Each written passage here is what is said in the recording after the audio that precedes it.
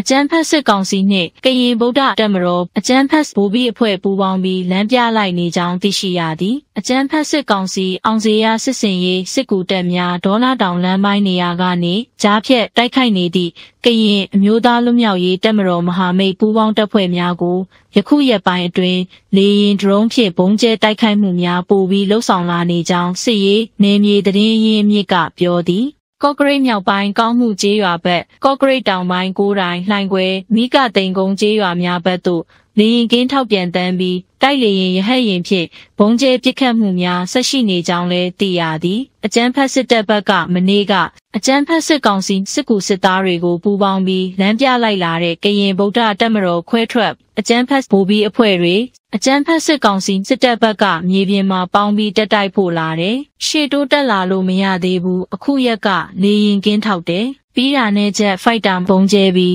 drone နဲ့ပုံသီးချပြီးအဲ့ဒါမျိုးနေရောညပါလာတိုက်နေတယ်ဟုဒေါနာတောင်ပေါ်နေရာတွင်တိုက်ပွဲဝင်နေသည့်ကရင်အမျိုးသားလွတ်မြောက်ရေးတပ်မတော်စစ်ရေးတရင်အရင်းမြစ်တစ်ခုကပြောသည် ထို့သို့အကြမ်းဖက်စစ်ကောင်စီတပ်ဘက်ကစစ်ရေးအရှိန်မြင့်တိုက်ခိုက်နေမှုကြောင့်နှစ်ဖက်ထိခိုက်ကြဆုံးမှုဆက်ရှိနေပြီးအကြမ်းဖက်စစ်တပ်ဘက်ကမြေပြင်စစ်ကြောင်းထိုးတိုက်ခိုက်မှုထက်လေးကြောင်းနှင့်လက်နက်ကြီးပစ်ခတ်တိုက်ခိုက်မှုကိုကရင်အမျိုးသားလွတ်မြောက်ရေးတပ်မတော်မဟာမိတ်တပ်များဟန်တာဖျက်ဆီးနိုင်ရန်ကြားဖြတ်တိုက်ခိုက်မှုကိုစနစ်တကျတံပြန်တိုက်ခိုက်နေကြောင်းသိရှိရသည်အလားတူယနေ့ညနေ3နာရီခန့်တွင်လည်းကော့ကရိတ်တောင်ပိုင်းရှိကြိုက်တုံမြို့တွင်လည်းတိုက်ပွဲတစုံတရာဖြစ်ပွားခြင်းမရှိဘဲအကြမ်းဖက်စစ်ကောင်စီတပ်ကလေရင်ဖြင့်လာရောက်ပုံကျဲတိုက်ခိုက်မှုလှုံ့ဆော်သွားခဲ့ပြီးထိခိုက်ပျက်စီးမှုအခြေအနေအသေးစိတ်ကိုမသိရှိရသေးကြောင်းဒေသခံများထံမှသိရသည်ဘုံကျဲတဲ့လေရင်လာတယ်ဘုံသီးတွေကြပေါက်ပြီးလူတွေကကိုယ်နေရာပြန်မနေရဲကြသေးဘူး မြို့တော့ပြတ်သွားပြီးရွာတွေကိုလည်းဒရုန်းကနေမီးလောင်ပုံကျဲတော့အိမ်တွေဆယ်လုံးလောင်းမီးလောင်နေဟုပြောသည်ယခုလက်တလောအကြမ်းဖက်စစ်ကောင်စီကမြောက်ရီမြို့ကိုထိန်းချုပ်ရန်နေ့စဉ်စစ်စင်တိုက်ခိုက်နေသည့်အခြေအနေတွင်ဒေသတွင်ကရင်အပြည့်ရဲ့လက်နက်ကင်ချို့အဖွဲ့အစည်းဝင်များအကြမ်းဖက်စစ်ကောင်စီစစ်တပ်နှင့်အကျိုးတူကုန်ကားစီးပွားရေးလှုပ်ဆောင်နေသည့်နေခြားဆောင်တပ်ဖွဲ့များမှစစ်တပ်နေရာများသို့စစ်ကူလက်နက်ခဲယမ်းတည်ယူပို့ဆောင်ပေးခြင်းနှင့်လမ်းပြကူညီခြင်းများရှိနေကြောင်းစစ်မြေပြင်သတင်းအရင်းမြစ်များက ပြောဆိုသည်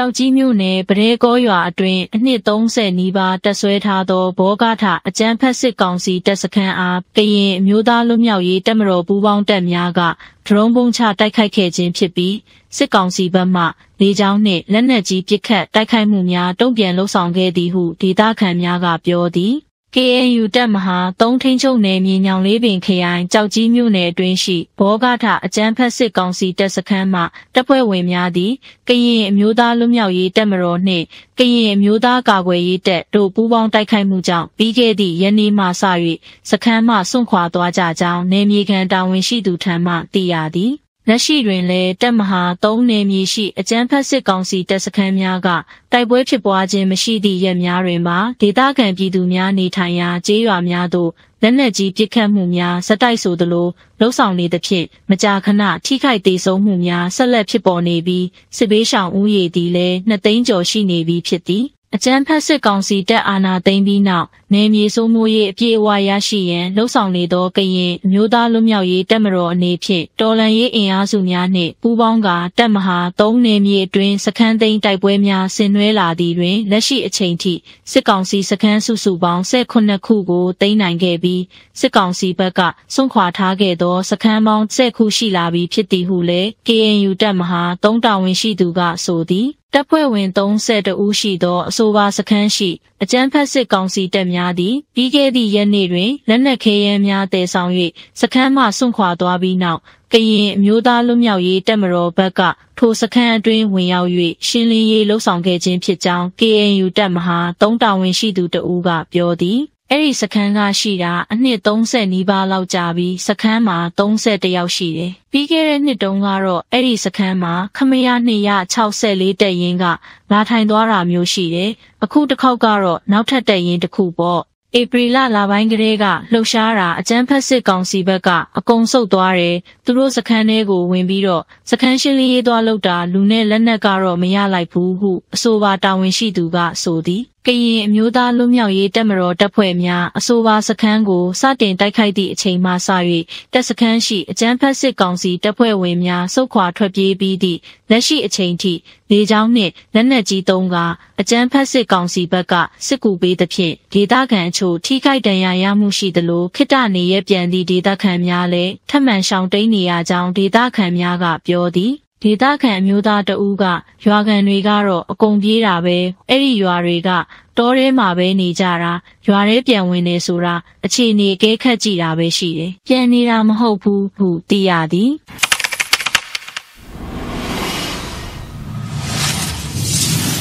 ကရင်နိုင်ငံနှင့်ကရင်နီနိုင်ငံတွင် အာဏာသိမ်းအကြမ်းဖက်စစ်ကောင်စီတပ်ကိုခုခံတော်လှန်မှုအားကောင်းပြီးအကြမ်းဖက်စစ်ကောင်စီကတပ်စခန်းအများပြားနှင့်နေမြေများကိုလက်လွတ်ဆုံးရှုံးနေရသည်အထက်ပါတိုင်းရင်းသားခေါင်းဆောင်များကမြန်မာနိုင်ငံတွင်စစ်အာဏာရှင်စနစ်ပပျောက်ရေးနှင့် Federal Democracy နိုင်ငံတည်ထောင်ရန်လိုလားဆန္ဒရှိသူများဖြစ်ကအမျိုးသားညီညွတ်ရေးအစိုးရနှင့်မိဖက်အဖြစ်လက်တွဲကအာဏာသိမ်းစစ်ကောင်စီကိုတွန်းလှန်တိုက်ခိုက်နေသူများလည်းဖြစ်သည် ဂျပန်နိုင်ငံလွှတ်တော်ဆိုင်ရာနိုင်ငံသားရေးဒုတိယဝန်ကြီးမစ္စတာကိုမူရာမာဆာဟီရိုသည်မြန်မာနိုင်ငံမှတိုင်းရင်းသားခေါင်းဆောင်ကိုယ်စားလှယ်များကိုယနေ့တွင်လက်ခံတွေ့ဆုံကာမြန်မာနိုင်ငံ၏လက်ရှိအခြေအနေအပေါ်အမြင်ချင်းဖလှယ်ဆွေးနွေးခဲ့ကြောင်းဂျပန်နိုင်ငံသားရေးဝန်ကြီးဌာနကသတင်းထုတ်ပြန်သည်ဒုတိယဝန်ကြီးမစ္စတာကိုမူရာ ပဒိုစောကွယ်ထူဝင်းကရင်နီမျိုးသားတိုးတက်ရေးပါတီနှင့်ကရင်နီပြည်ကြားကာလအုပ်ချုပ်ရေးကောင်စီဥက္ကဋ္ဌခူဦးရဲတို့ပါဝင်သောမှတ်တမ်းတပ်ပုံကိုလည်းဖော်ပြသည်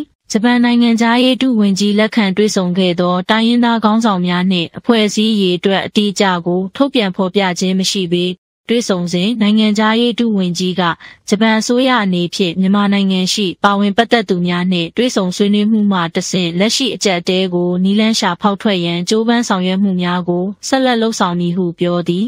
တိုင်းရင်းသားခေါင်းဆောင်များကလည်းဂျပန်အစိုးရနှင့်ပြည်သူများကမြန်မာနိုင်ငံအပေါ်ဒီဇိုင်းမမတ်ကူညီပံ့ပိုးမှုများအတွက်ကျေးဇူးတင်ကြောင်းနှင့်မြန်မာအရေးဖြည့်ရှင်းနိုင်ရေးတွင်ဂျပန်အစိုးရ၏အခမ်းကဏ္ဍနှင့်ပတ်သက်၍မျှော်မှန်းချက်များကိုပြောကြားခဲ့ကြောင်းဂျပန်နိုင်ငံသားရေးကထုတ်ပြန်သည်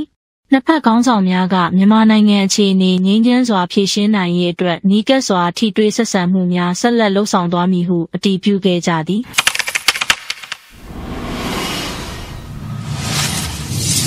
ကရင်ပြည်နယ်ဖာပုံမြို့နယ်ရှိလက်ကျန်အကြမ်းဖက်စစ်ကောင်စီတပ်စခန်းများမှစခန်းမှစွန့်ခွာအောင်ကရင်အမျိုးသားလွတ်မြောက်ရေးတပ်မတော်နှင့်တော်လှန်ရေးပူးပေါင်းမဟာမိတ်တပ်ဖွဲ့တို့ကဖိအားပေးပစ်ခတ်နေတာကြောင့်အကြမ်းဖက်စစ်ကောင်စီတပ်ပတ်မှနေရောညပါလေရင်ဖြင့်ဘုံကျဲတိုက်ခိုက်နေတယ်လို့နယ်မြေခံစစ်ရေးသတင်းရင်းမြစ်ထံမှသိရပါတယ်။လက်ရှိတွင်ဖောက်ပုံမြို့နယ်ကလက်ကျန်စခန်းများဖြစ်သည့်340 642နှင့်ယူဟန်ကုန်းများမှာရှိတဲ့ အကြမ်းဖက်စစ်ကောင်စီတပ်ဖွဲ့စခန်းမှထွက်ခွာသွားအောင်တော်လန်ရေးပူးပေါင်းမဟာမိတ်တပ်ဖွဲ့တို့ကကြိုးပမ်းနေလျက်ရှိသည်ဟုသိရပါတယ်။လက်ကျန်တပ်စခန်းများလက်လွတ်မဆုံးရှုံးရအောင်အခုရက်ပိုင်းတွင်စစ်ကောင်စီဘက်မှတိုက်လေရင်လေးစင်းဖြင့်နေ့စဉ်နီးပါးအကြီးကျယ်ရန်တမ်းပုံကျဲသလိုလက်နက်ကြီးနဲ့လည်းပစ်ခတ်တိုက်ခိုက်တာလို့သိရပါတယ်။တပ်ရင်340နှစ်တပ်ရင်640နှစ်စခန်းနီးတွင်အကြမ်းဖက်စစ်ကောင်စီကဘုံကျဲတိုက်ခိုက်တာဖြစ်ပါတယ်။ ဟာပုံမြို့အနီးတွင်တည်ရှိသည့်အကြမ်းဖက်စစ်ကောင်စီတပ်ရင်တပ်ဖွဲ့များသည့်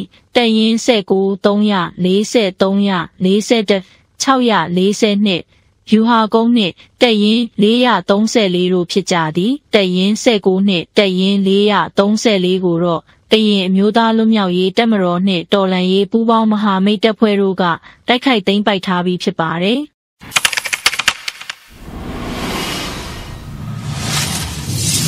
ကရင်ပြည်နယ်မြဝတီသို့ထိုးစစ်ဆင်စစ်ရေးဖော်ဆောင်နေသည့်အကြမ်းဖက်စစ်ကောင်စီအောင်စီရစစ်စင်ရေးသည့်ရှေ့သို့မတိုးနိုင်ပဲစစ်စင်ရေးရပ်တန့်နေတယ်လို့တော်လန်ရေးတပ်ဖွဲ့မှစစ်ဘက်ဆိုင်ရာတာဝန်ရှိသူထံမှသိရှိရပါတယ်။ အကြမ်းဖက်စစ်ကောင်စီတပ်ဖွဲ့တွေငြိမ်နေကြတာ3-4ရက်လောက်ရှိနေပြီးတိုက်ပွဲပြင်းထန်တဲ့အနေအထားမှာမရှိဘူး။တော်လန်ရေးပူးပေါင်းတပ်ဖွဲ့ဘက်တိုက်ခိုက်တာမျိုးတော့လှုပ်ဆောင်နေတယ်ဟုအဆိုပါတာဝန်ရှိသူဆိုပါတယ်။အကြမ်းဖက်စစ်ကောင်စီတပ်ဖွဲ့တွေရှေ့မတိုးနိုင်တော့ငြိမ်တာတခါတရံအကြမ်းဖက်စစ်ကောင်စီဘက်တိုးစမ်းကြည့်တာရှိပေမဲ့ပြန်လှန်တယ်ပြန်ဆုတ်လိုက်ရတယ်လို့သူကဆိုပါတယ် မကြခင်ကကရင်အမျိုးသားလွတ်မြောက်ရေးတပ်မတော်အမှတ်9တပ်မဟာတန်လွင်မြစ်စုံတူးငွဲထားတပ်စခန်းကိုစွန့်ခွာသွားသည့်စစ်ကောင်စီတပ်ဖွဲ့ဝင်များကိုအောင်စေရစစ်စင်ရေးသို့ပို့ဆောင်လိုက်တာရှိပါတယ်အောင်စေရစစ်ကြောင်းရှေ့မတိုးနိုင်တာကြောင့်အကြမ်းဖက်စစ်ကောင်စီဘက်မှတပ်မ89 22 44 55စကခ12နေမြေကန်တက်နှစ်တင်ကားတွေပါအင်အားထပ်မံဖြည့်တင်းနေတယ်လို့လည်းသိရပါဗျ။ အောင်စေရစစ်ကြောင်းဒီအထိနာပြီးအာရှလန်းကတောနော်အနီးတစ်ဝိုက်တွင်သာအကြမ်းဖက်စစ်ကောင်စီတပ်များရောက်ရှိနေတယ်လို့သိရှိရပါသည်။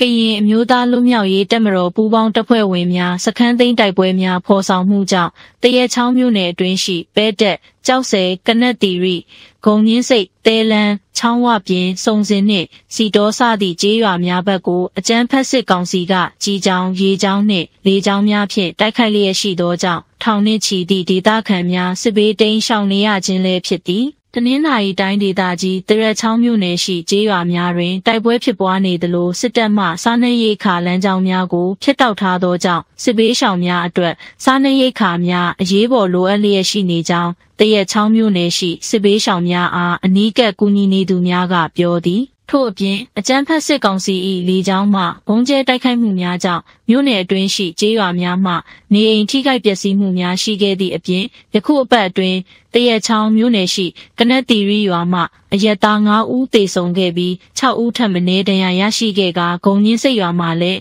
အရက်သား2ဦးထိခိုက်ဒဏ်ရာရခဲ့ကြောင်းသိရသည် တနင်္သာရီတိုင်းအတွင်းတိုက်ပွဲများပုံမူပြင်းထန်လာသည့်အပြင်စစ်ကောင်စီမှလေကြောင်းအုံပြုတိုက်ခိုက်မှုများပုံမူလှုပ်ဆောင်လာသောကြောင့်စစ်ဘေးရှောင်ဥယေတိုးလာပြီးဒဝယ်မြို့နယ်တရက်ချောင်းမြို့နယ်ရေဖြူမြို့နယ်ပူလောမြို့နယ်နှင့်တနင်္သာရီမြို့နယ်များတွင်နေရဲစွန့်ခွာထွက်ပြေးရသူပိုများခဲ့ကြောင်းသိရသည် ယခုမှစတင်ကဒေသအခြေစိုက်တော်လန်ရေးတပ်ဖွဲ့ဝင်များနှင့်စစ်ကောင်စီတပ်များကြားနှစ်ဖက်တိုက်ပွဲများဖြစ်ပွားနေသောကြောင့်ကျေးရွာကိုးရွာမှဒေသခံတထောင်ကျော်စစ်ဘေးတိမ်းရှောင်နေရပြီးစားနပ်ရိက္ခာများအရေးပေါ်လိုအပ်လျက်ရှိကြောင်းတရက်ချောင်းမြို့နယ်စစ်ဘေးရှောင်အနီးကပ်ကူညီနေသူတဦးကပြောသည်စစ်ဘေးရှောင်ဒေသခံတဦးကပြီးခဲ့တဲ့ရက်ကတည်းကရှောင်နေရတာလေချောင်းကပြစ်ခတ်မှုတွေရှိနေတော့ဒေသခံတွေကထွက်ပြေးကြတယ် အခုလက်ရှိမှာလည်းတိုက်ပွဲဖြစ်နေတဲ့အတန်တွေကြားနေရတော့အိမ်မပြန်ရဲကြတာလဲပါတယ်။ပြီးခဲ့တဲ့ရက်ကပဲဒေသခံတထောင်ကျော်တရက်ထက်တရက်တိုးလာတယ်။အခုကကြတော့အကြမ်းဖက်စစ်ကောင်စီကကျမတို့တိုက်ပွဲဖြစ်နေတဲ့နေရာတွေဘက်ကိုရိတ်ခါတွေဖျက်ထားတာအဲ့ဒါကြောင့်အခြေခံစားတောက်ကုန်ဖြစ်တဲ့စံစည်းဝါးအိမ်မှာကျမတို့နေတိုင်းစားတောက်တဲ့အစားအစာမှန်သမျှလိုအပ်လာတယ်။ဆန်ကလည်းတအိတ်ကိုတသိန်းကျော်ထိရှိလာတယ်